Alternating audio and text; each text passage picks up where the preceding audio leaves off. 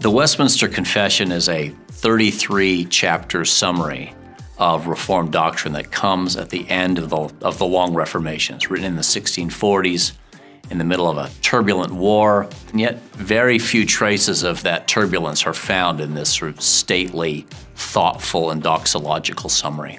Uh, it was designed as an ecumenical text to uh, unite England, Scotland, and, and, and Ireland, uh, those three churches.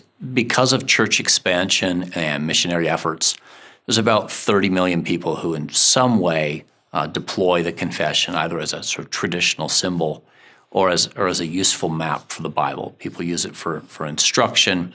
Um, uh, churches use it as, as a guide uh, to what their pastors and elders need to, to hold and teach. And uh, uh, I, I, I myself have been using the document for decades and have found it very profitable.